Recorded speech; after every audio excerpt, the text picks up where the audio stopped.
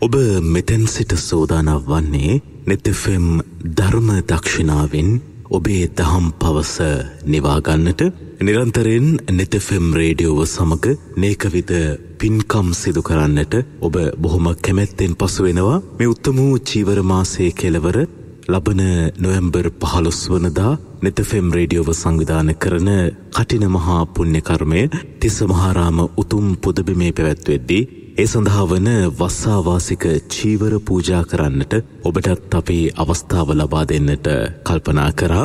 එ අනුව ඉතාම සුළු සංඛ්‍යාවක් ඉතිරිව තිබෙන මෙ චීවර ඔබටත් වෙන් කරගන්නට පුළුවන් ඔබ කතා කරන්න බිඳුවයි හැත්තෑ හතයි හැත්තෑ හතයි විසිපහයි දෙසය දහා හතරංකයට. එසේ කතාකොට ඔබට පුළුවන්කම තියෙනවා මේ උතුම් වූ වසාවාසික චීවරයක් ඔබේ නමින් වෙන් කරවාගෙන පූජා කරන්නට. එ අතරේ අපි ඔබට මතක් කලා උතුම් වූ තිස්ස මහාරාම පුදබිමෙහි ඒ අතිරමණීයව නිර්මාණය කරන උතුම් වූ ධාතු මන්දිරය සම්බුද්ධ මන්දිරයේ පියස්සනිම කිරීම සඳහා ඔබටත් දායක වෙන්නට පුළුවන් කියලා. ඒ සඳහා වන ලී සඳහා ඔබට දායක වෙන්නට පුළුවන්කම තියෙනවා. කොල්ලුපිටිය ලංකා බැංකුව දෙවන ශාකාවේ පූජාගිනුමට ඔබේ නොමසුරු දායකත්වයන් බැර කරන්න අසූ හතරයි හැත්තෑ නවයයි හතලිස්තුනයි අසූ පහ අංකේ දරන ගිනුමටයි ඔබ බැර කරන්නට ඕනේ වැඩ විස්තර දැනගන්න ඔබට පුළුවන් බිඳුව හැත්තෑ හතයි හතලිස් එකයි පනස් එකයි දෙසය හැත්තෑ දෙකාංකෙන්. එමනම් අපි මෙතැන් සිට ධර්ම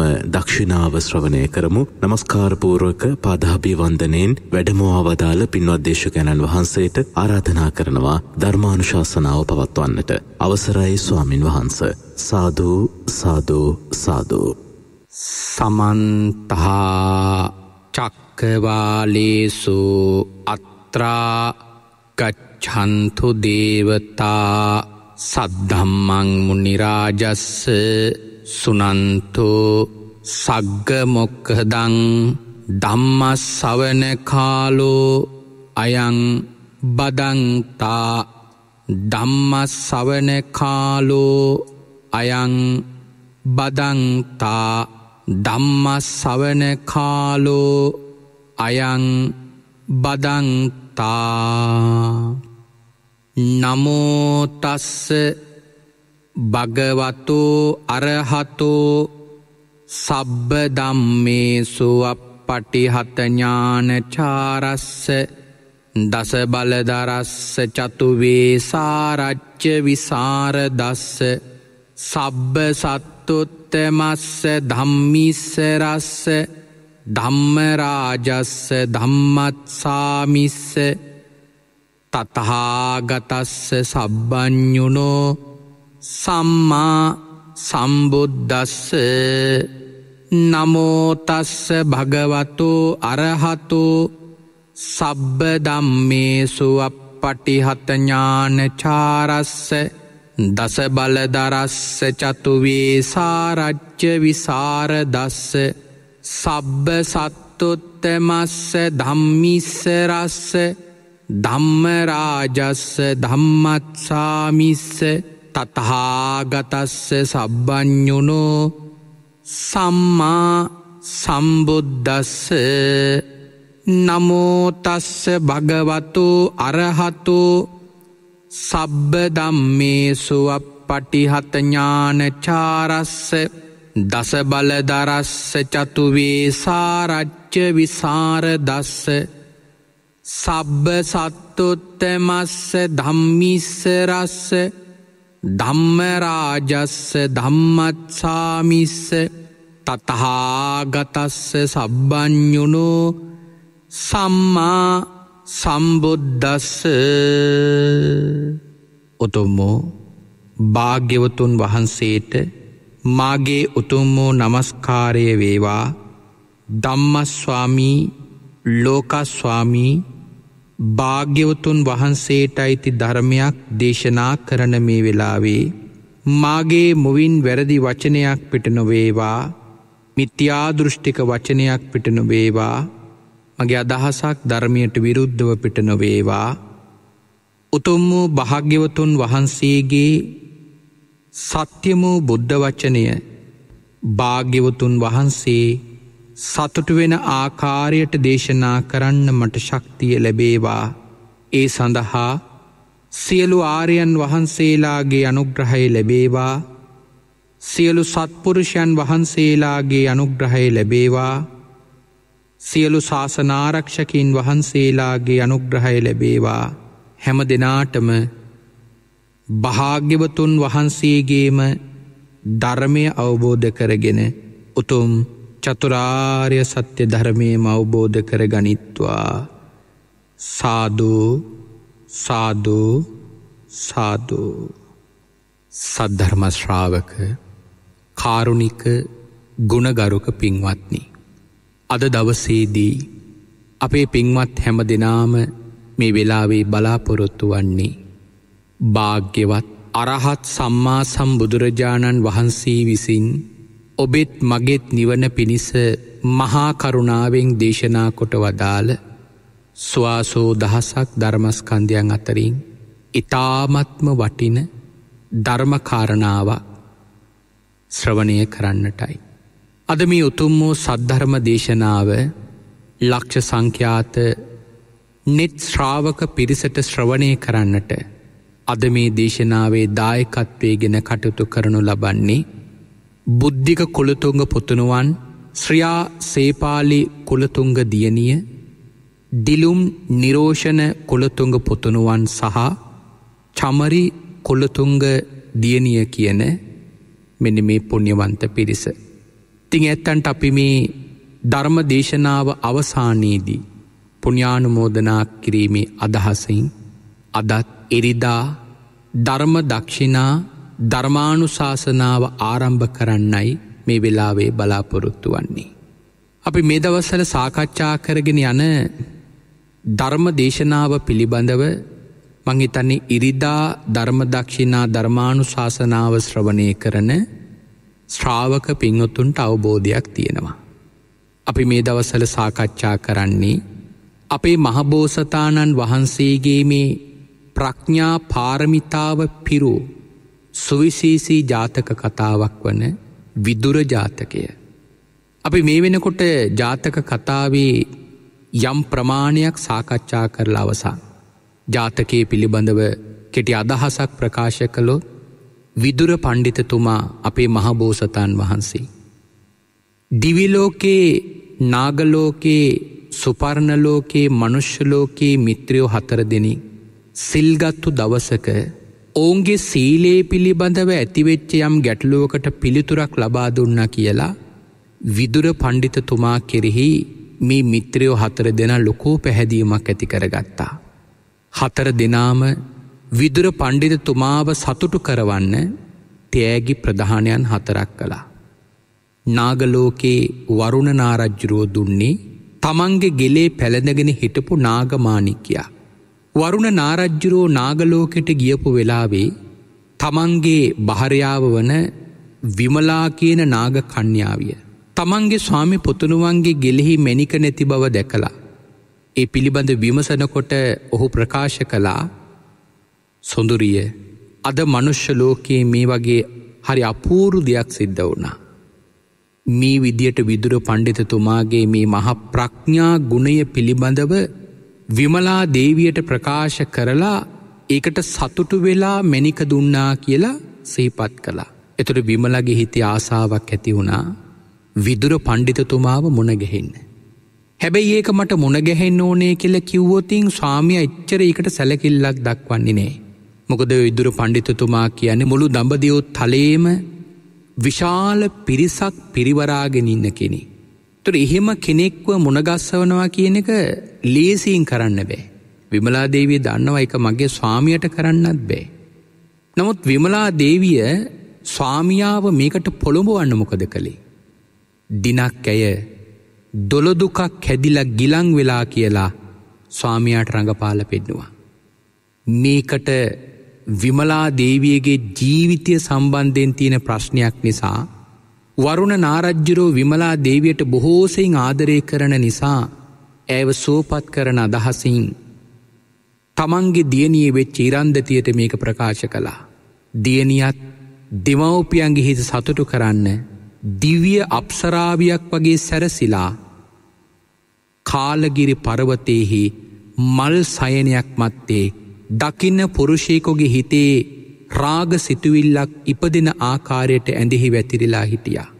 එදා පිංහතුනි යක්ෂ සමාමගමකට යමින් හිටපු පූර්ණක කියන යක්ෂ සේනාධිපති මේ ඉරන්දතියගේ කයිදිහා දැකලා ඉවසා ගන්න බැරි කාමාස්වාදයක් හදවත ඉපදුනා. ඇව මගේ ස්වාමි බිරිඳ කරගන්න ඕන කියල හිති ආසාාවක් ඉපදුනා. එතුොට ඒක ඈට ප්‍රකාශ කරාම පූර්ණක යක්ෂයාව දෙමවපියන්ට මුණගස්වලා.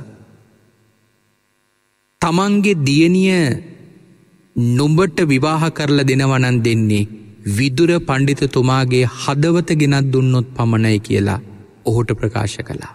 ඉරන්දිතයගේ රූපයට වසී වෙලා හිටපු. ඉරන්දියතියගේ රූපයට මායාවට පත්වෙලා හිටපු පූර්ණක යක්ෂයා මේ වෙලාවෑව ලබාගන්න කළ නොහැක දෙයක් නැති තර. එනිසා දෙමවපියන්ට පොරොන්දු වෙලා මම විදුර පණ්ඩිත තුමාගේ හදවත අරගෙන එන්නම් කියලා ඔහු අස්වේග පිට නැගල පිටත් වුණා. ඔහුට එක තනියෙන් කරන්න බෑ. එකට අවශ්‍යයි වෛශ්‍රවණ දිවිරාජයාගේ අවසරය එනිසා වෛශ්‍රවණ දිවිරාජයා කියල කියන්නේ මේ පූර්ණක යක්ෂයාගේ මාමණ්ඩි. එතකොට ඔහුව මුණගැහිලා වෛශ්‍රවණ දිවිරාජයාව මුලාවට පත් කරවල අවසරයක් ලබා ගන්නවා. එහෙම අවසර ලබාගෙන විදුර පණ්ඩිතතුමාගේ හදවත ගන්න යන්න කල්පනා කරනකොට පූර්ණක යක්ෂයට සිහිපත් වනේ. කුරුරටේ අධිරාජ්‍යවරයා වෙච්ච කෝරව රජ්ජුරුවන්ගේ යටති ඉන්න විදුර පණ්ඩිතතුමාව ලබාගන්න එක ලේසිනේ. හැබැයි කෝරව රජ්ජුරුවන්ගේ ළඟ තියෙනව එක දුරුවලකම. ඒ තමයි ඔහු බොහෝ සෙයිම මෙ සූදු ක්‍රීඩාවට ප්‍රිය කෙනෙ. සූදුවට හුඟාක් ප්‍රිය කෙනෙ. ඒ නිසා මි සූදු ක්‍රීඩාවට ගිහිල්ලා ඔට්ටුවක් දාලා ඒකින් පරාද වුණොත් මට විදුර පණ්ඩිතතුමාව දෙන්න කියලා අරගෙන එන්න තමයි දැ මේ පූර්ණක යක්ෂයාගේ අදහස. එතකොට කෝරාව රජ්ජුරුවොන් එක්ක මේ වෙලාවේදී මේ දාදු ක්‍රීඩාව කරන්න නං රජ්ජුරුවන්ගේ ළඟ නැති දෙයක් මම ඔට්ටුවට අරගෙන යන්න ඕන. එතකොට ඔහුට මතක් වුණා සක්විති රජ කෙනෙකුගේ මානෙක්‍ය රත්නය. ඒ මානෙක්‍ය රත්නයයි ආජානී අශයකුය අරගෙන ගිහිල්ලා රජ්ජුරුවන්ගේ ළඟ රජ්ජුරුවන්ට අභියෝග කරනවා මම සූදු ක්‍රීඩාවට යාවේ මම සූදු ක්‍රීඩාවට දක්ෂී. මාව පැරැද්දුවෝත් මං මේ මානික්‍ය රත්නයයි මිය අශ්වරත්නය එකනාට දෙනව කිව්වා. එත රජ්ජුරු ඒ වෙලාවෙදි මේ දෙකේ තින විශේෂත්වය අහනකොට ආජානී අශ්‍යයාගේ විශේෂත්වය පෙන්නල දුන්නා. ඒවගේම තමයි මානික්‍ය රත්නය විශේෂත්වයක් පෙන්වල දුන්නා. මේ දෙකේම විශේෂත්වයන් පෙන්වල දීලා පිඟතුනේ රජ්ජුරුවෝ මේත් සූදු ක්‍රීඩාවට කැමති කරවගෙන සූදු මෙදාදු ක්‍රීඩාව කළා. පැති විසිහතරක් තියෙන මේ දාදු ක්‍රීඩාවේ. දෙදෙනාම පැති දෙකක් තෝරාගෙන දාදු කැටේ උඩ දෑවා. රජ්ජුරෝ පින්වතුනි මේ දාදු ක්‍රීඩාවෙන් කවදාවත් පැරදිලානේ. එහෙම නොපරදින හේතුව තමයි රජ්ජුරුවන්ගේ ළඟ ඉන්නවා රජ්ජුරුවන්ට පෙර භවයක අම්මා වෙලා හිටපු කෙනෙක් දිවිය භවයක් ලබලා. ඒ දේවතාවිය මේ වෙලාවේ රජ්ජුරුවන්ව ආරක්ෂා කරගෙන රජ්ජුරුවන්ගේ ළඟ ඉන්නවා ඇගේ ආනුභාවෙන් දාදු ගැඩේ උඩදානකොට රජ්ජුරුව බලාපොරොත්තු වෙච්ච පැත්ත තමයි වැටෙන්නේ. රජ්ජුරුව කවදාවත් දාදු ක්‍රීඩාවෙන් පරාද වෙලානේ. ඉති එදත් පූර්ණක යක්ෂයත් එක්කත් මේ ක්‍රීඩාව යෙදෙනකොට පූර්ණක යක්ෂය දැක්කා දැන් දාදු කැඩේ උදදානකොට තමාට දිනින පැත්තේ එද්දී රජ්ජුරෝ කරන්න උඩදි මල්ල ගන්නවා. උද රජ්ජුරෝ දන්නවා වැටෙන්නේ දාදු කැටේ තමන්ට වාසි පැත්තට නෙවෙයි. එතුර ඔය වගේ දෙගමන කල්ලගන්නකොට පූර්ණක යක්ෂය බැලෝ රජ්ජුරු කොහොමද මේක දන්නේ. එතකොට තමයි මේ පූර්ණක යක්ෂයාට තේරුණේ මේ දේවතාවයක් රජ්ජුරුවන්ට ආරක්ෂාව සපයනවා කියලා. බොදහු යක්ෂයෙක්නේ. ඒ වෙලාවෙදී දේවතාවිය දෙස ඇහිබැම අකුළුවලා භයානක රූපයකින් බැලුවම ඇ ගිහිල්ලා සකොලේ ගෙබ කෙලවරෙහි ගිහිල නතර වෙලා තිනිබියට පත්වෙලා. තිං ඒ වෙලාවේ තුන්මිනි වතාව දාදු කැටේ උදදානකොට ඒ වෙලාවෙ පූර්ණ කියක්ෂයාගේ අනුභාවෙන් ධාතු කැටේ තමන්ට දිනින පැත්තට වැටුණා. ති රජ්ජුර පරාද වුණා. රජ්ජුරු ඒ වෙලාවේ කම්පාවට පත් වනා. නමුත් පූර්ණක යක්ෂයා රජ්ජුරුවන්ගේ හිත හැදුවම රජ්ජුරුවකුව දැන් එහෙනම් ඉල්ලන දෙයක් ඉල්ලන්න ඕනෑම ධනයක් කරගෙන මෙහෙන් ඉක්මට පලා යන්න කිව්වා. ඒ වෙලාවෙදී පූර්ණක යක්ෂයා රජ්ජුරුවන්ට කියනවා මහරජ මම නොගවෙන් බලාපොරොත්වෙන එක එක දෙයකව මට ඇතුනුත් එපාකිව අශ්‍යයොත් එපාකුව රතත් එපාකිව්වා මට මැනිකුත් එපාකිව්වා රන්රිදී මසු කහවනු මොනවත් එපාකිව්වා මට දෙන්නකො එක්කම එක දෙයක් ඒ තමයි විදුර පණ්ඩිතතුමාව. යන්න එහෙම විදුර පණ්ඩිතතුමාව ඉල්ලුවම රජ්ජුරුව කියනවා ඒක කරන්න බෑ. ොද විදුර පණ්ඩිතතුමා කියන්නේ මගේ හදවත වගේ. මගේ පණට සමානයි. පූර්ණක යක්ෂය මේ කාරණාවගේ හිල්ලා විදුර පණ්ඩිතතුමාගේ මහනවා. සැබෑද පණ්ඩිතවමනේ නුඹ මේ රජ්ජුරුවන්ගේ පණ කියන්නේ. රජ්ජුරුවන්ගේ ජීවිතය හා සමානය කියන්නේ. ඔබ රජ්ජුරුවන්ගේ ඥාතියෙද්ද නෑ කියනවා. මානවකය මම රජ්ජුරුවන්ගේ දාසය කිව්වා. දාස කොල්ලයක උපන්න දාසීගේ කුසින් ඉපදිච්ච දාසයෙක් කිව්වා. මන් රජ්‍යුගේ දාසකම් රජුට දාසකංකූ මම කරන්නේ. තේවෙලාවේත් පිංහොතුනී පූර්ණක යක්ෂයා දිල් දිනලා රජ්ජුරුවන්ගෙන් පූර්ණක යක්ෂය මේ විදුර පණ්ඩිතතුමාව ගත්තා. අපි පහුගිය සතිය අවසානය වෙනකං ඔන්න ඔය තැනට එනකන් සාකච්ඡා කරා. තුර අපිට අද එතනින්දල තමයි මේ කතාවත් තුරටික සාකච්ඡා කරන්න තියෙන්. දැන් ඔන්න විදුර පණ්ඩිතතුමා රජ්ජුරුවන්ගේ පැත්ත ගත්තෙ නැතුව නෙවෙයි. විදුර පණ්ඩිතුතුමා මේ වෙලාව ගත්ත මොන පැත්තද. ධර්මය පැත්ත. ඔකට තමයි පින්වොත්තේ මේ දම්ම දජ කියන්නේ. ධර්මය දජයක් කරගෙන ඉන්නවා. විදුර පණ්ඩිතතුමා දන්නව මේ වෙලාවේ මම මේ ගන්න තීරණයත් එක මගේ ජීවිතය වුනත් විනාස වෙන්න පුළුවන්. මාව නැසෙල යන්න පුළුවන්. නමුත් මගේ ජීවිතේ ගියත් මගේ හුස්මට එක හැල්ල ගියත් මම ධර්මයෙන් තොර පැත්තක හිටගන්නේ නෑ. මෙන මේක පින්වතුනි විශේෂ තැන මේ වගේ විශේෂ තැන් ඇත්තටම මේ වගේ තැන්වල මුණ ගැහුනම ඒවා විස්තර නොකර මගහැරල යන්න හිතෙන්නේ නෑ. බොදේ කාරණාවල් මංකැරි ගැඹුරින්ම අපි අවබෝධ කරගත්තොත් පිංහොතන අපේ ජීවිතයට එකතු කරගන්න පුලාන් බුදුරජාන් වහන්සේ පිංහොතුනි මේ ජාතක කතා මේ වගේ කතාපට දේශනා කළේ ඒවායේ තියෙන ඒ දහම් රසේ විඳින්න නෙවෙයි. ඒවායේ තිබෙන ඒ කරුණු මේ පෘතග්ජනයන්ගේ ජීවිතවලට කොහොමද එකතු කරගන්න කියල පෙන්න්න. බලන්න දැන් මේ විදුර පණ්ඩිතතුමා මෙච්චර කාලයක් හිටේ රජ්ජුරුවන්ගේ යටති. රජ්ජුරුවන්ගෙන් තමයි සැප සම්පත් පින්දේ පිංහතුනේ කියල තියෙනවා විදුර පණ්ඩිතතුමාට තියෙනවා පිංහතුනි මාලිගාත්තුනා විදුර පණ්ඩිතතුමාට මේ අර සිද්ධහර්ත මහබෝසතන් වහන්සට තිබුණ වගේ මාලිගා තුනක් තියෙනවා. ඉරතු තුනට කොංච මයුර පියකේත කියලා. මේ වගේ ඉරතු තුනට පිංහොත්තනී මාලිගා තුනක් තියෙනවා විදුර පණ්ඩිතතුමාට. මහා සැපසම්පතක් විඳින්න විදුර පණ්ඩිතතුමා. තුර එච්චරේ සැපසම්පත් සියල්ල ලැබුවේ කාගෙන්ද රජ්ජුරුවන්ගේ. නමුත් එච්චර සැපසම්පතක් ලබලත් පිංහොතුරි බලන්නකො මේ වෙලාවේ රජ්ජුරුවන්ගේ පැත්ත ගත්ත නෑනේ. ඇයිඒ. ඒක මේ ලෝකේ සැබෑ දහම නෙමි. නිවැරදිදේ තමයි ධර්මය පැත්ති හිටගන්නික. තැන් හුඟාක් වෙලාවට පින්හොතුනි මිනිස්සු මෙන්න මේ කාරණාව අවබෝධ කරගන්නව හරි අඩුයි. ධර්මී පැත්ති හිටගන්නව හරි අඩුයි. පිංහතුනි ජීවත් එන්න ඕන අපි ධර්මය දජයක් කරලා. ධර්මය ඔසවාගෙන ඉන්න ඕන. ධර්මය ඔසවාගෙන ඉන්නවා කියල කියන්නේ අපේ ජීවිතය යම්කිසි දෙයක් කරනකොට විමසල බලන්න ඕන මාමේ කරනදේ ධර්මයට එකඟ දෙයක්ද.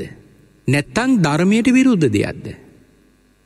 එතකොට ධර්මයට විරුද්ධ දෙයක් නං කරන්නේ ඒ වෙලාවෙ තියෙන පරිසරය පුද්ගලයා ලැබෙනදේ මේවා කිසිවක් පිළිබඳව සලකන්නේ නැතුව ඒ වෙලාවට හිටගන්න ඕන ධර්මී පැත්තේ. අන්නේකට තමයි දම්ම දජ කියන්නේ සමහර වෙලාවට බලන්න සමහරය. එහෙම හිටගන්නව හරි අඩුයි. සමහර වෙලාවට පිංහතුරි සමහර කෙනෙක් හිටගන්නේ තමන්ට ඒ හිටගන්න දහම්කාරණාව තමන්ට වාසි ගෙන දෙනවා කියල පේනවනම් පමණයි. මගෙට හැමෝම නෙවෙයි සමහර දෙනි. මේක යෙදීම තුළ මේක හැසිරීම තුළ මට යම් කිසි හෝ මෙලෝ ප්‍රතිලාභයක් තියෙනවනං මං අන්න ඒ නිසා මේක හැසිරෙනවා කියලා තම සමහර කෙනෙක් එක හැසිරෙන්නේ. එතොට එයාට පින්වතුනි මේ ධර්මයහි පිහිට ලැබෙන්නේ. දම්මං සරණං ගච්ඡාම කියන තැනට එන්නේ නෑ. තුර ධර්ම දජයක් කියරගවන්නවා කියල කියන්න පින්වතුනි හැම වෙලාවකම හැම්ම තීරණයක්ම ධර්මී පැත්ති හිටගෙන තමයි බලන්න ඕන. තැන් උදාහරණයක් ගම අපි මෙහෙම. ඔන්න යම්කිසි පුුණ්‍ය කර්මයක් කරන වෙලාවක. ඒ පුුණ්‍ය කර්මය කරන ඇතැම් කාරණා පිළිබඳව අපි එතුමුන්න හාමුදුරු නමක් අපට කියල දෙනවා. හැබැයි කියන කාරණාවල් සියල්ල කියන්න ඕන කියනවනම් උන්වහන්සේගේ අදහස් නෙවෙයි. එතනදි කියන්න ඕන භාග්‍යවතුන් වහන්සේගේ අදහස. එතොර යම් කිසි ඔන්න කාරණාවක් උන්වහන්සේ ප්‍රකාශ කරනවා ධර්මයට විරුද්ධ දෙයක්. එක භාග්‍යතුන් වහන්සේගේ ධර්මයට ගැලපෙන්න්නෙත් නෑ සම්පූර්ණ මේ කාරණාව ධර්මයට විරුද්ධයි. එතුර ඒ වගේ අවස්ථාවකද පිංහතුනී අපි මොකදද කරන්න ඕන. ඒකේ ඒක කරාම සමාජයෙන් ලොකු ප්‍රසංසාවක් ලැබෙනවා. දකින දකින ඇගීමකටත් ලක් කරනවා හැබැයි ඒක භාග්‍යතුන් වහන්සේ එපා කියපු එක. එතුර අපි මොන පැත්තද තෝරගන්නේ. භාග්‍යතුන් වහන්සේ එපා කියවප පැත්ති හිට ගන්නවද නැත්තං අර සමාජයේ බොහෝ දෙනෙක් අනුමත කරන පැත්ති හිට ගන්නවද. අන්න එක තම අපි බලන්න ඕන. තැන් භාග්‍යතුන් වහන්සේට ජීවමාන සංඥාවෙන් සම්බුද්ධ පූජාව පූජ කරන්න කියල තමයි හැම වෙලාවක මනුශාසනා කරන්නේ. ජීවමාන සංඥාවෙන් පුද පූජා පවත්වන්න. එතුර ජීවමාන සංඥාවෙන් භාගිතුන් වහන්සට පුද පූජා පවත්වනම කියල කිව්වට සැබෑවටම මේ කාරණාව සම්බන්ධින් හොඳ අවබෝධයක් ලබාගෙන හොඳ දැනුමක් ලබාගෙන ඒ වෙලාවට පින්හොතුන අපි ඒ විදියටම තමයි පුුණ්‍ය කර්මය කරන්න ඕන. ප්‍රමාණවත් පෙන්න තමයි භාග්‍යතුන් වහන්සට පූජා පවත් වන්න ඕන. දර බැරි වෙලාවක්වත් පිංහොතින අපි හිතමොන්න යම් තැනක සම්බුද්ධ පූජාවක් පූජා කරන්න සූදානම් වෙනකොට එතන වඩින යම් ප්‍රතිග්‍රහකයන් වහන්සේලාගේ විරෝධයක් තියෙනවා. ඔච්චර බුද්ධ පූජාව තියන්න එපා ඇයි ඔයි තරම් පූජාවල් අහකදාන්නේ ඇයි විසි කරන්න යන ආදී වශයෙන් චෝදනා කරන්න පුළුවන් ගරහා කරන්න පුළුවන්. සමහරලාවට මේ හාමුදුරුවෝ නම් මේකට ගරහනවා කියලත් දන්නවා. ඒවිලාට හුඟාක් දෙනා මොකද කරන්නේ. අර හාමුදුරුවන්ගේ හිත හදන්න. හාමුදුරුව එපා කියපුදේ නොකර ඉන්න උත්සාහ කරලා ති හුඟා දෙනෙක් කරනමකක්ද. ඒ වෙලාවට අර පූජාව තියෙනකින් ඉවත්වෙනවා. එතොට පිංහතුනී තමන්ගේ තීරණයටාවේ මොකක් නිසාද හාමුදුරුව බනී කියලා. ඇත්තං අප හිතුම එතැනටෙන වෙන කෙනෙක් ඉන්නවා කියලා ඒ අය බනී කියලා නෑයෝ බනී කියලා. මෙහෙම තිව්වොත් මෙයාල බනීමි. න්යාල දොස් කියයි කියන බයට. එතොට පිංහතුන ඒ කෙන අරගෙන තින කාගේ පැත්තද ධර්මය පැත්තද නෑ. අරගෙන තියෙන්නේ. ධර්මයට විරුද්ධව කටයුතු කරපෝ ඒ විරුද්ධවාදිගේ පැත්තයි. එතොට අපිට තිසරණය සරණ ලැබෙයිද තිසරණය සරණ ලැබෙන්නේ. තික අපට ලොකු පාඩුවා. පිංහතුනි අපි හැම දෙයක්ම දැන් මේක බුද්ධ පූජාව සම්බන්ධෙන්නේ වෙයි. හැම්ම දෙයක්ම ජීවිතය අපි කරන්න ඕන ධර්මය දජයක් කරගෙන. ධර්මය පැත්ති හිටගෙන. දැ තව උදාහරණයක් කියනවන. ඔන පුුණ්‍ය කර්මයක් කරනවා. ඕකට ආරාධනා කරල යාළුවොත් සම්බන්ධ වෙනවා. දැම් මේ යාළුවට කෙනකොට දන්නව තමන් අනිවාරයෙන්ම මෙයාලාට සුරාවෙන් සංග්‍රහ කරන්න ඕන. හැබැයි හිතේ ලොකූ කැමැත්තක් නෑ එක කරන්න මොකද පිනක් කරන දවසක්ටි. නමුත් ඉතින් මේක නමකද කරන්නේ ඒ යාළුවන්ගේ හිත හදන්න ඕනකමට ඔන්න සුරාව සකස් කරලා දෙනවා. එක දෙනකොට එයා හිතන්න මොකක්ද. මේක නොදුන්නොත් මෙයාලමාත්‍යක තරහවෙයි අමනාපවෙයි මේක නොදුන්නොත් සමහල්ලට මට නින්දාත් කරයි ඉතර නින්දාවෙන් බේරෙන්න අමනාප වෙනවට අකමැති කමේ ඔවුන් පිරිස පිරි කෙරෙහි තිබෙන තන්හාාව ආදී වශයෙන් කරුණු නිසා ඒලාට මොකද කරන්නේ. එකට අවසර දෙනවා. ඔවුන්ට සුරාව ගෙනත් දෙනවා. හැබැයිති දන්නවද මේ සුරාව පින්කම වෙලාවෙ තමන් ඒක ගෙනත්දීම තුළ තමන්ට තමන්ගේ පිනට වෙච්ච හානිය කොයි වගේද කියලා. එක සීමාවක් නේ. තෙහුඟා කලාවට කියල තියෙන පින්වොත්තන මේ සුරාව කියන එක මේ ඥානය දුරුවල කරන එකක්.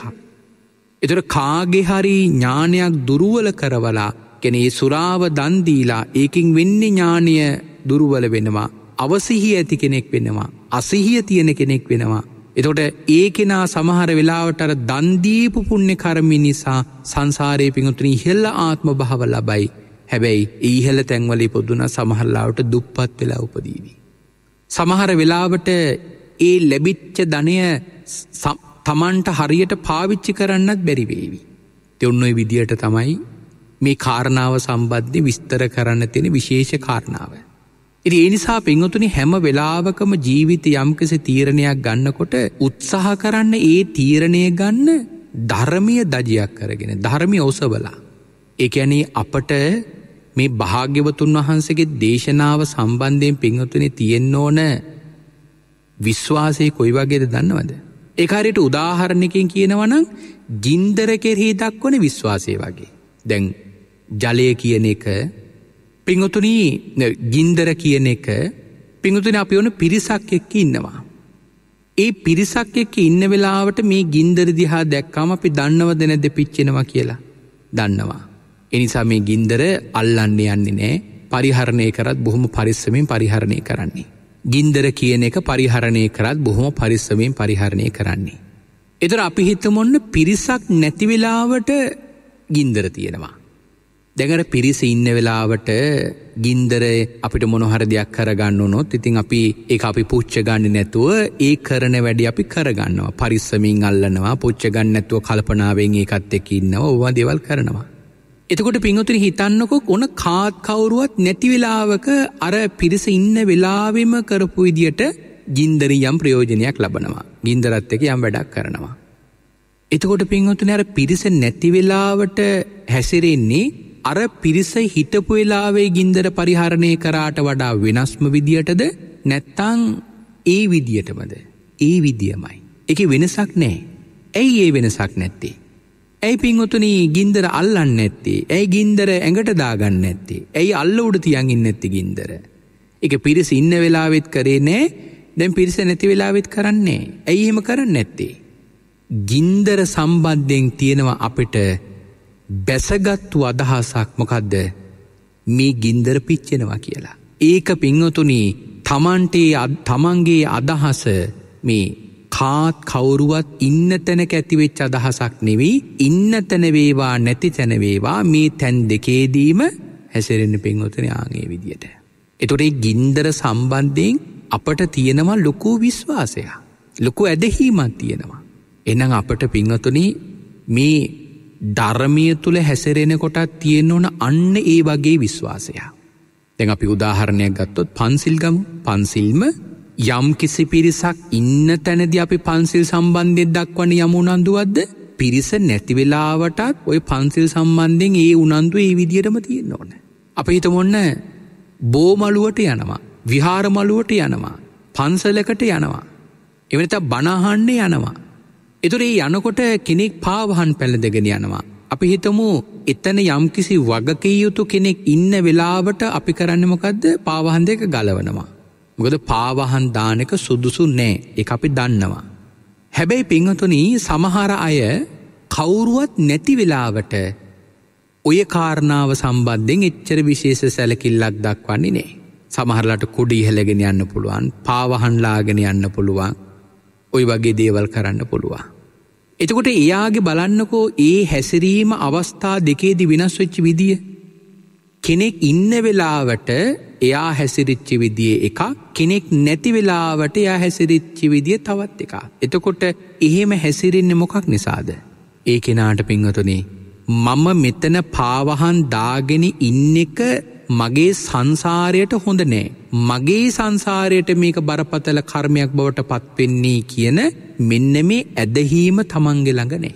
ඒ විශ්වාසය තමන්ගෙ ළඟනේ. ඒ විශ්වාසය ඒ ඇදහීම තමන්ගෙ ළඟ නැති නිසා මොකද කරන්නේ. පිනතුරි හුඟාක් දෙනා කරන්නේ. කෙනෙක් ඉන්න වෙලාවට හැසිරෙන විදියේ හාත් පසිම වෙනස් කෙනෙක් නැති වෙලා හැසිරණ විදිිය.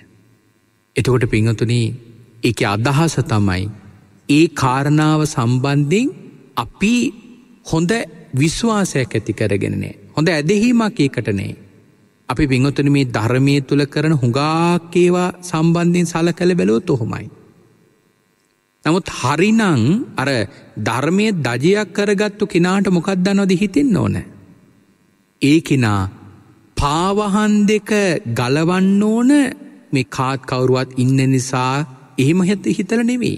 මේ පාවහන් පැළදගෙන ඉඳීම තුළින් මගේ සංසාරයට මේ වැගේ අකුසල කර්මයක් වෙනවා කියන මෙනමි විශ්වාසය තමන්ගලඟ තියෙන්න්න ඕන. ඒ විශ්වාසය හරියට තිබුණොතින් එයා පෙංගතුනෙ කිස්සි තැනක එහෙම හැසිරෙන්නේ නේ. එකනා දන්න කාරණාවල් උපරිම මට්ටමටම ක්‍රියාත්මක කරන්න පුරුදු වෙනවා.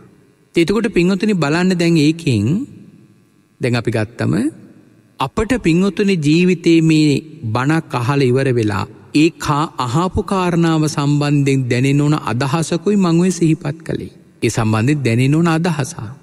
එනිසා පිංහතුනි හැම වෙලාවකම මෙනි මේ ධර්මය දජයක් කරගෙන ඉන්නවා කෙන කාරණාව හිතන්න. ඒ පිළිබඳව පිංහතුනි ඇල්මක් උපදවාගෙන ඉන්න. භාගතුන් වහන්ස යමක් කිව්වනක් ඒක ඒ කාන්තෙම සිද්ධ වෙනවා. ඒක ඒ කාන්තෙම සිදුවෙන්න දෙයක් කියන මෙන්න මේ විශ්වාසය පිංහතුනි තමන්ගේ හිත තුළ උපදවාගෙන ඉන්න.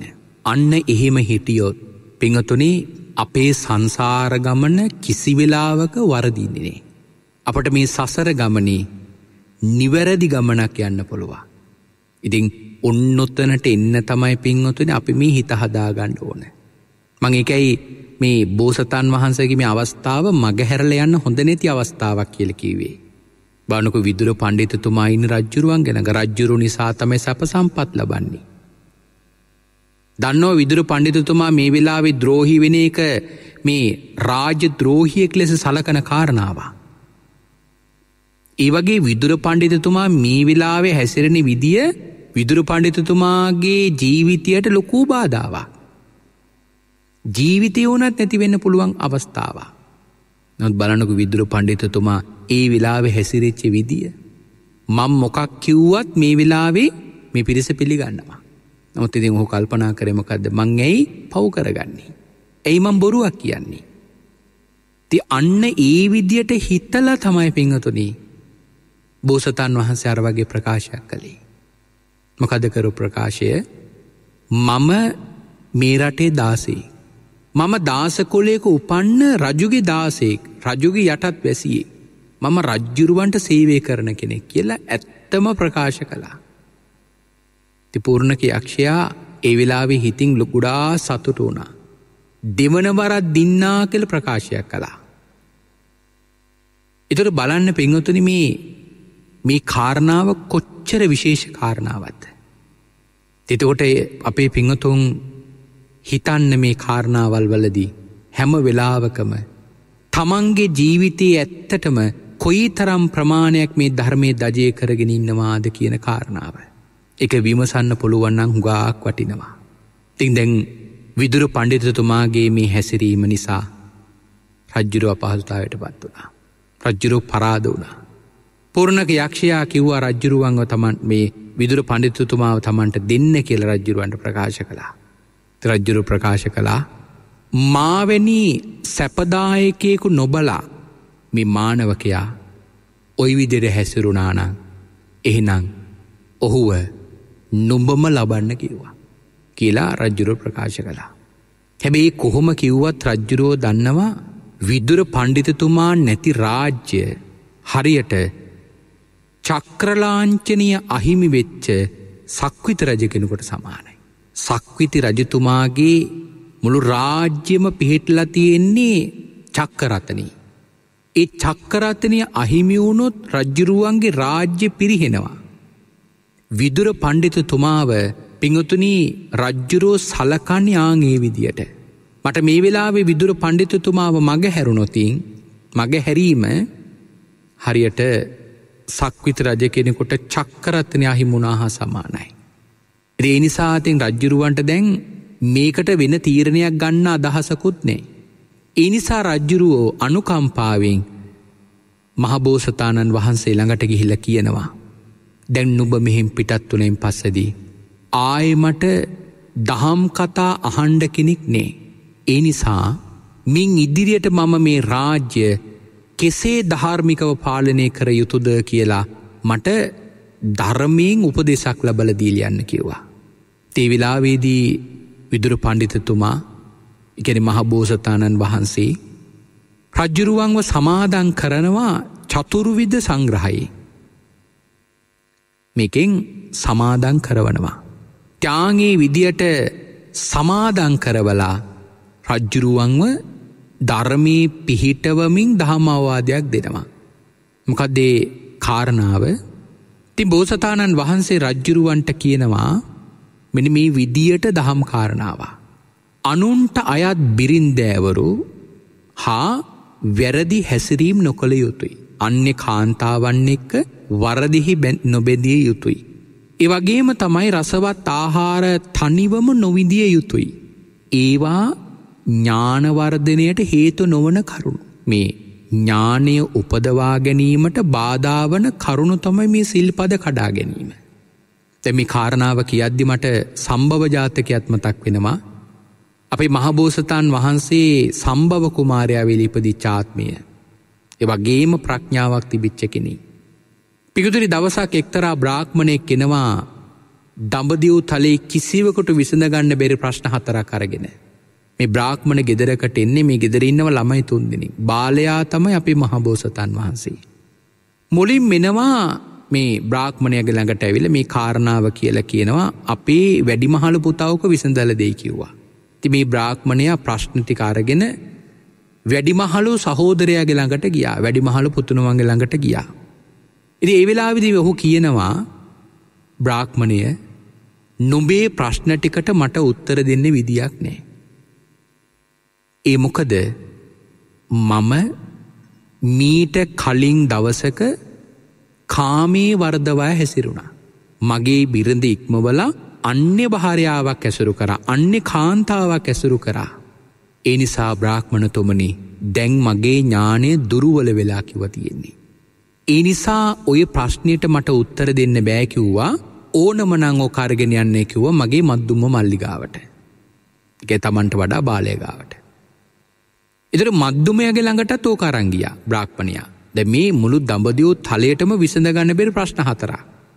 තින් ඔන්න අරගෙන ගියා මද්දුම සහෝදරයගේ ළඟට. ඔහුත් ඉදං කියනවා මම මේ වගේ අකුසලයක් කරගෙන ඉන්නේ. ඒ නිසා මගේ ඥානීය දැන් දුරුවල වෙලා. ඒ නිසා නුබේ ප්‍රශ්නෙට මට උත්තරයක් දෙන්න බෑකිව්වා. ඊට පසදී ඔහු කියනවා ඔය ප්‍රශ්නය අර්ගෙන යන්නෙකු අපේ බාල සහෝදරයගේ ළඟට ඔහු විසඳල දෙකිව්වා. එතමයි පිංහතුනි අපේ මහබෝසතන් වහන්සේ සම්භව කුමාරය අවුරුදු හතයි වයිස බමුණ මේ ප්‍රශ්නටි කරගෙන බෝසතන් වහන්සේ ළඟට යනකොට බෝසතන් වහන්සේ වෙලි සිල්ලං කරනවා. හරියට වස්ත්‍රයවත් ඇගේනේ. ඉරි වස්ත්‍රය ගසලා ඉන්නට උස් කරල ඇඳලා පළගක් බැඳගෙන බ්‍රාහ්මණයගෙන් අහනවා නුබ ඕනම දෙයක් අහන්න මං ඕනම දේකට උත්තරයක් දෙන්නම් කියලා මේ සර්වඥ පවාරණය කරනවා. එකට ගැනේ සර්වඥ පවාරණය කියලා. ඕනෑම දෙයක් අහන්නමං ඕනෑම දෙකට උත්තර දෙන්නම් කියලයි කියන්නේ. චර ප්‍රඥාවත් තිබිල තියෙන නමුත්තර වැඩිමහට සහෝදර දෙන්නට එක විසඳන්න බැරිවුණේ ඇයි ඔවුන් දෙන්න ගැර අකුසලයක් මේ වෙලාවේ කරගෙන තියෙන නිසා ඥානය මොට වෙලා ඥානය දුරුවල වෙලා ඉතින් කොහොමත් පින්ුත්තරම පව් කරන්න පව් කරන්න තියෙන අපේ දැනුම නැති වෙනවා අඩු වෙනවා. ඒගෙන පින්ුත්තර මේ අධහාර්මික ක්‍රමයට ධනය හම්බ කරන.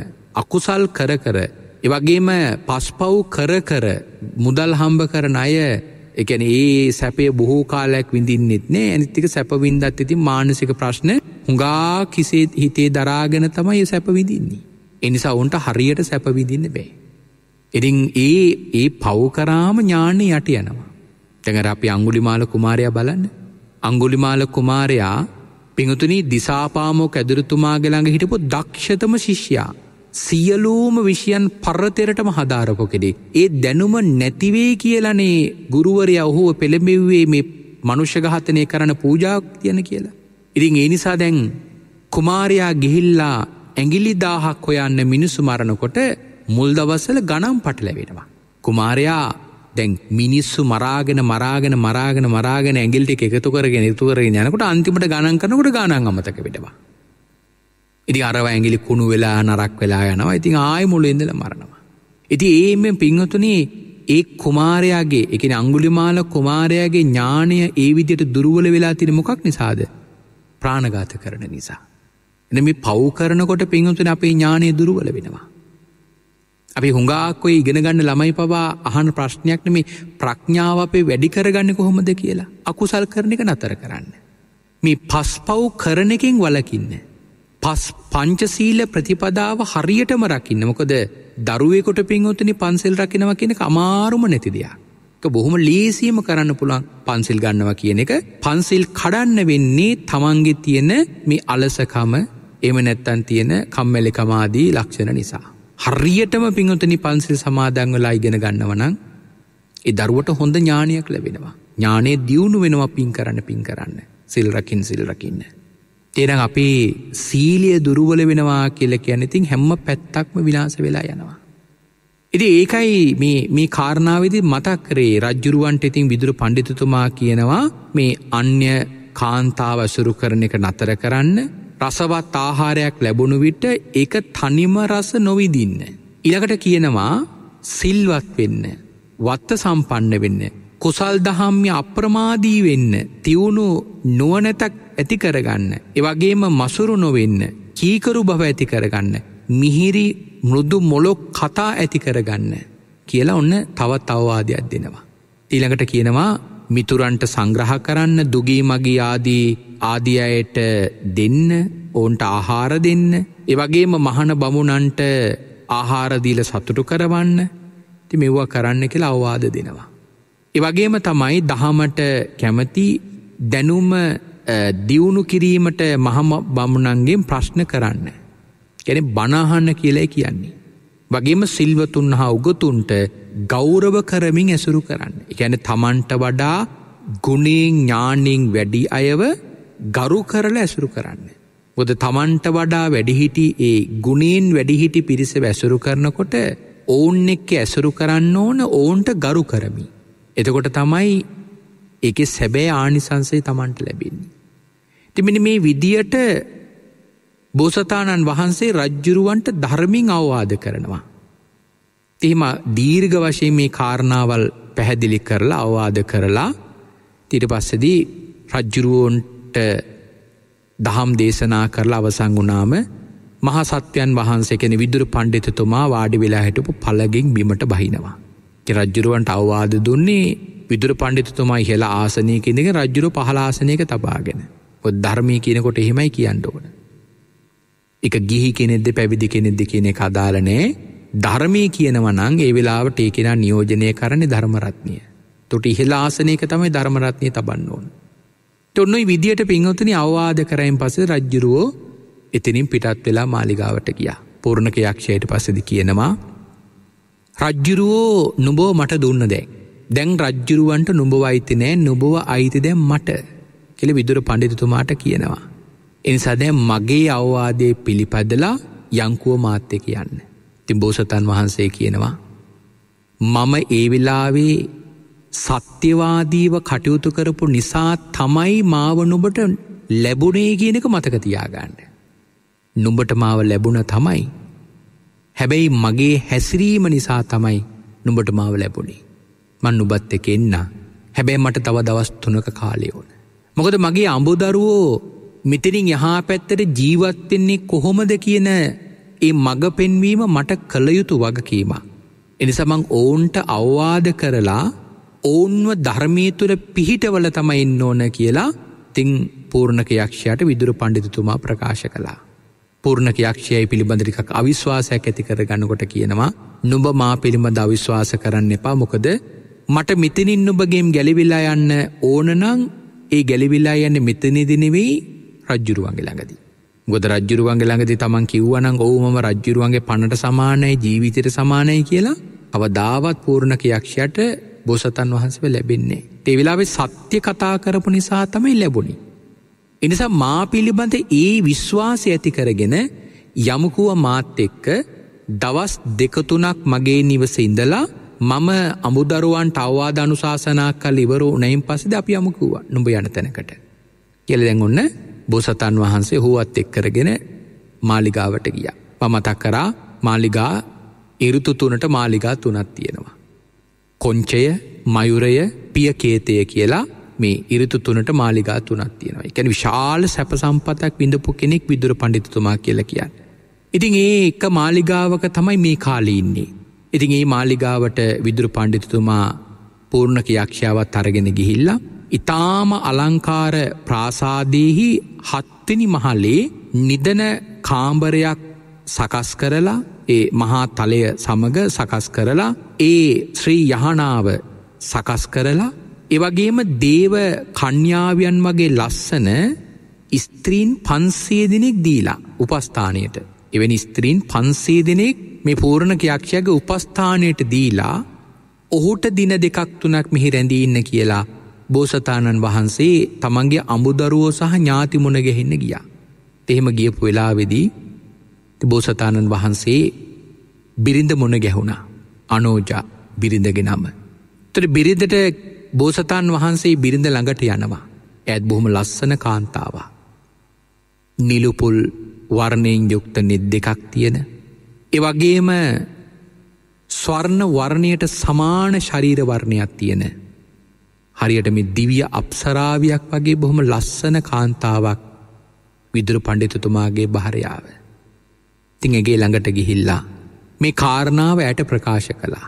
ඇ ළඟට ගිහිල්ල කියනව මේ මං අද නුඹලාව දකින අන්තිම දවස වෙන්න පුළුවා. කියල මේ රජ්ජුරු අතර වෙච්ච මේ කාරණාව අමුදරුවන්ට ප්‍රකාශ කරලා ඔවුන්ට ඉඳගන්න කියලා ඔවුන්ට දහමින් අනුශාසනා කරනවා. අවවාද ලබල දෙනවා. තිං එතන්ට යන්න හදනකොට දරුවෝටික ඇවිල්ලා බෝසතාණන් වහන්සේ වැලදගෙන සිපගෙන අඩන්න ගත්තා. ඔවුන්ව සනසවලා ඔවුන් වාඩි කරවලා බෝසතාණන් වහන්සේ ඔවුන්ට අවවාද කරනවා. ඉතියද අවවාද දෙනවා අදින් පස්සෙදි මාව අයිති පූර්ණක යක්ෂයාට දැම් මම පූර්ණක යක්ෂයා කියන විදියට තමයි වැඩ කරන්න ඕන. ආයමට නුඹල බලන්න ඉන්නත් පුළුවන් නොඉන්නත් පුළුවන්. ආවාහෝවේවා නාවාහෝවේවා නුබලා මෙන්න මේ අවවාදිහි පිහිටන්න කියලා අවවාද කරනවා. තිදි අවවාද කරන්නේ මගෙන් පස්සෙදී රජ්ජුරුවන්ගේ හිත දිනාගෙන නොබල කොහොමද ජීවත්වෙන්න ඕන. මොද මේ කෝමල රැකෙන්නේ රජ්ජුරුවන්ගේ සියල්ලෝමින්නේ රජ්ජුරුවන්ගේ යටතේ. එතොට රජ්ජුරුවන්ගෙන් කොහොමද නොබල යැපෙන්නේ. රජ්ජුරුවන්ගේ හිත දිනාගෙන ජීවත්වෙන්න ඕන. දරුවන්ට දෙන්න එකම අවවාදයයි.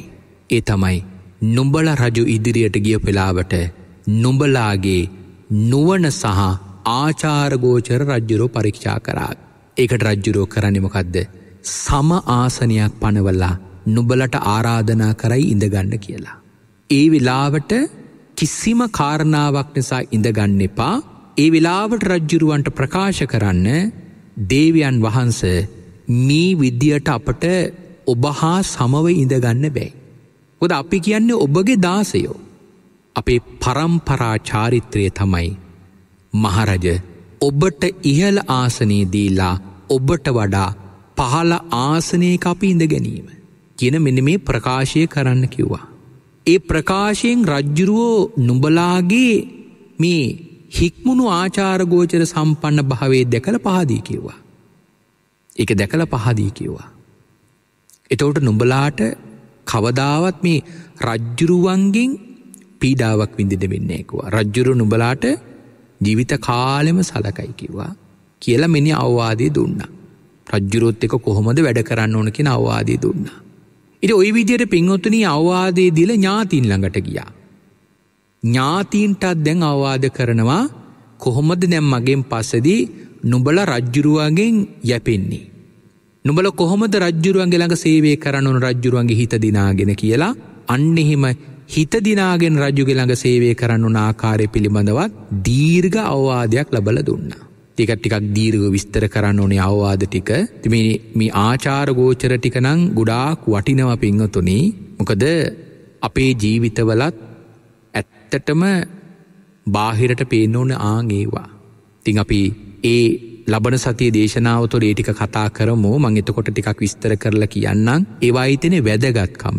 මොකදැන් අපිත් ගොඩාක් වෙලාවට දකින දෙයක් තමයි බොහෝ දෙනෙකුට පිංහතුනී ධර්ම කාරණාවල් කියල දුන්නට ඒවා තමන්ගේ ජීවිතයේ ප්‍රායෝගික කරගන්න කැමතිනේ. අර හුරුවෙච්ච රටාවටම තමයි ඉන්න උත්සාහ කරන්නේ. එතොට ඉතින් එහෙම උත්සාහ කරනයට කවදාවත් නිවැරදි වෙන්න වේ. ඇයි සිහියනෑ. දැ අපි උඩා කලාට දකින දෙයක් තමයිද සමහරලාවට බණක් අහන්න ගියාම්. ඒ ධර්මශාලාව තුළ කොයි තරං හික්මීමත්තිය නොන්ද කොයි තරම් සංවර කමත්තියෙන් ඕොන්ද. තුංගක් අයට ඒක නෑ. බණහන ගමන් අතර මගින් නැගෙට්ල යනවා ප්‍රමාද වෙලා බණහනයට කොට සාලාව අගකොනේන්දල ඉස්සරහටම විල්ල වාඩි වෙන උත්සාහ කරනවා. එකනර මඟර මුලින්ම මතක් කරානේ මේකවි පිහිටල නෑ කියල කාරණාවල් වල. එක යන්නේ මම මෙහෙම යනකොට මට පවසිද්ධ වෙනවානේ කියන ඒ අවබෝධයනේ. මම මේ බණශාලාවෙන් අතරමගෙන් නැගෙට්ල යනකොට මම මේ ධර්මරත්නයට කරන්න අගෞරවයක් ඒකේ මට පවසිද්ධ වෙනවා නේද කියන අන්නේ අවබෝධයනේ. ද අවබෝධය නැති නිසා හුඟක් අයිමොකද කරන්නේ එව්ව කර කර හුඟාක් පව් කරගන්නවා. අපි මේ කාරණාටික ලබන සති දේශනාවදිටික දීර්ගව සාකච්ඡා කරමු. එමනං අපි අද්දට නිමාවට පත් කලා දැන්ඔන්න විදුර පණ්ඩිතතුමා පූර්ණක යක්ෂයට හිමි වුණා තිං නමුත් පූර්ණක යක්ෂයාගෙන් අවසර ලබාගෙන දවස්තුනකට තමන්ගේ අඹුදරුවන්ට ඥාතීන්ට අවවාද කරන්න ගියා තමන් නැති කාලේ කොහොමද රජ්ජුරුවන්ගේ හිතදිනාගෙන මේ රාජ්‍ය වාසය කරන්නේ. කියන කාරණාව පෙන්වල දෙන්න. එමන අපි එතනින්දලා ඉතුරු කාරණාටික ලබන සතිය දේශනාවද සාකච්ඡා කරමු. එමන අද දවස අපි මේ දේශනාව නිමාවට පත් කළේ එවගේ මද මේ උතුම් දේශනාව මුළු මහත් ලෝකයාටම මහත් අනුකම්පාවෙන් දේශනා කරන්න දේශනාවේ දායකත්වය දරන්නේ බුද්ධික කුළතුංග පුතුරුවන් ශ්‍රියා සේපාලි කුළතුංග දියණිය දිලුම් නිරෝෂණ කුළතුංග පුතුරුවන් චමරි කුළතුංග දියණිය කියන මෙන මේ පුුණ්‍යවන්ත පිරිස. තිං ඇත්තු තම අද මේ දේශනාවේ දායකත්වය දරන්නේ ඇතු බලාපොරොත්තිනවා විශේෂයෙන් ඇමිලි පිටිය මොරකැටිය පාර අංක දාහත්තර නිවසේ පදිංචි. විශේෂයෙන්ම අදවැනි දිනයක ජන්මදිනිය සමරණ දෙදස් හතර එකොළොස්වනි මාස දහවැනි දින ජන්මදිනිය සමරණ ග්‍රේස් හාමු සේපාල දසනායක මෑනියන්ට ආශිරුවාදය කරන්න. තිං ආදරණී මෑනියන්ට ඉතාම වටිනාකෙන උපන්දෙන ත්‍යයාගයක් මේ ලබල දුන්නේ මේ ලෝකයේ දෙන්න පුළුවන් දානයන් අතුර උතුම්ම දානය ලබල දීලා. තියද මේ දහම ශ්‍රවණය කරන කී දෙනෙක් නම් හිත පහදවා ගනීද. කී දෙනෙක් නම් මේ ධර්මකාරණා කරේ හිත උපදවා ගනීද. තිං අති විශාල ශ්‍රාවක පිරිසක් මේ දහම ශ්‍රවණය කරන නිසා මේ දායක පින්ඔතුන්ට විශාල පිනක් ලැබුණා.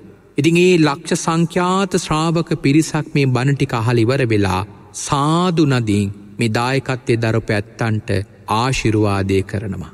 තකොට ලක්ෂ සංඛ්‍යාත පිරිසක් සාධූ සාධූ සාධූ කියලා ඉතාම හොඳයි ඉතාම හොඳයි ඉතාම හොඳයි කියලා ඒ කරන ආශිරුවාදය ඒ ආදරණී මෑණියන්ගේ ජීවිතය සූපත් කරගන්න වගේම දරුවන්ගේ මෙලොව ජීවිතය සූපත් කරගණ්ඩ කොයි තරම් උපකාරයක් වෙනවද. එමනං ආදරණී දරුවෝ ඉතාම වටිනා කෙන පිනක් මේ කළේ. එමනං ආදරණී මෑණියන්ට අපි ආශිර්වාදය කරනවා නිදුක් බව නිරෝගී බව ලැබේවා කායික මානසික සෝපත් භාවේ ලැබේවා. මේ ලැබූ බුද්ධෝත් පාද කාලය තුළ තවතවත් බොහෝ කුසල් දහම් වඩාගන්න. නිවැරදි ධර්මාබෝධයෙන් තමන්ගේ සසර ගමනට අවශ්‍ය කරන මගවියදං හදාගණ්ඩ. යාදරණී මෑණියන්ට නිදුක් නිරෝගේ දිගාසිර සම්පත් ලැබේවා කියලා අපි මේ වෙලාවේ සාදෝ කියා ආශිරුවාදය කරනවා. එවගේම තමනමි මිය පරලෝගියා වූ සියලුමීගේ ඥාතීන්ටත් මේ වෙලාව අපි පින් දෙනවා. ඇත්තන්ගෙත් භවගාමි ජීවිත සෝපත්වේවා අවසානයේදී දරුවන්ටත් මේ පින් බලයෙන් සියලු යහපත උදාවේවා එදූ දරුවන්ගේ පවුලට සම්බන්ධ සියලු දෙනාටත් මේ පුන් පින් බලයෙන් සියලු යහපත උදාවේවා ඕනෝන්ගේ සියලු යහපත් බලාපොරොත්තු ප්‍රාර්ථනාස්යල්ල මුදුන් පත්වේවා කායික සෝපත් භාවේ මානසික සෝපත් භාවේ ලැබේවා තමන් කරන කියන සීලු කටයුතු සර ප්‍රකාරෙම සාර්ථකමත් කරගන්නට ඒ දූ දරුවන්ටත් ශක්තිය දහිරි ලැබේවා කියල මේ වෙලාව අපි ආශිරවාදය කරමු. අවසාන්නේ ළඟා කරගත්තු සීලපින් බලෙන් ඔබා පැහැම දෙනාටමත් කෙටිම කාලයකින් පහසුමාකාරෙන් සොක සහගත ප්‍රතිපදාවෙන් උතුම් චතුරාරි සත්‍ය ධර්මය අවබෝධ කරගන්නට මේ උදාර කුසලානි සංස ධර්මය පාරමී ධර්මයක්ම වේවායි සාධූ සාධූ සාධූ කියා ප්‍රාර්ථනා කරගමු. ආකාසට්ටහා චුබුම්මට්ටහා දේවානාගා මහිද්දිකා පුඤ්ඥන්තන් අනුමෝදිත්වා චිරන්රක්කන්තු සම්මා සම්බුද්ධ ශාසනං චිරන්රක්කන්තු සම්මා සම්බුද්ධ දේශනං චිරන්රක්කන්තු සම්මා සම්බුද්ධ සාවකං